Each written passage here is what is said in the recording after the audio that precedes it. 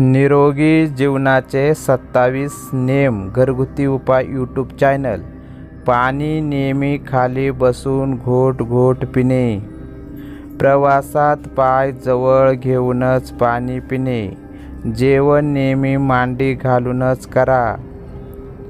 उभ्याने पाणी पिणे व उभ्याने जेवण करणे रोग उत्पन्न करते. सकाळी जेवणानंतर पाच ते दहा मिनिट वज्रासनात बसा. दुपारच्या जेवणानंतर वीस मिनिट वामकुशी घेतल्याने शरीराला अनेक फायदे होतात.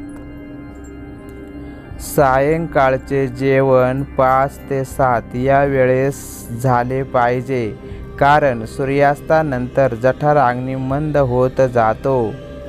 संध्याकाळी जेवणानंतर पाच ते दहा मिनिट वज्रासनात बसावे व वीस मिनिट शतपावली करावी. सकाळी फळांचा रस घेणे दुपार उत्तम दुपारी ताक किंवा लिंबू पाणी आणि रात्री जेवणानंतर दूध चालते. शिंक जांभाई आळस झोप लघवी संडास तहान भूक हे वेग कधी आवरू नये. वेग आवरल्यामुळे सर्व रोग होतात. वेग कोणकोणते असतात? सिंक जांभाई आळस झोप लघवी संडास ताण भूक अपानवायू उलटी रडणे शुक्रवेग हे सर्व योग आहेत. झोपताना ब्रह्मचारी मुले मुली यांचे डोके पूर्वेकडे असावे. गृहस्थ स्त्री पुरुषांचे डोके दक्षिणेकडे असावे. जेवताना तोंड पूर्वेकडे किंवा उत्तरेकडे असावे.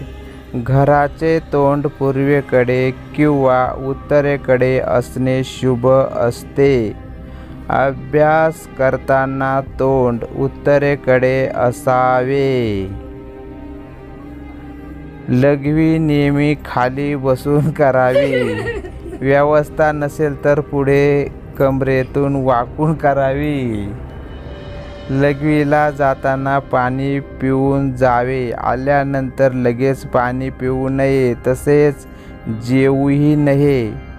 शौचाला जाताना पाणी पिऊन जावे. पण आल्यानंतर कमीत कमी पंधरा मिनिट पाणी पिऊ नये. तसेच जेवू नये. जेवताना नागपुडीचा उजवा स्वर चालू असावा. पाणी पिताना किंवा रस पिताना डावा स्वर चालू असावा. झोपेतून उठताना डाव्या अंगाकडून उठावे. रात्री झोपताना डाव्या कुशीवरच झोपावे. थकवा आल्यास शो शवासनात झोपावे.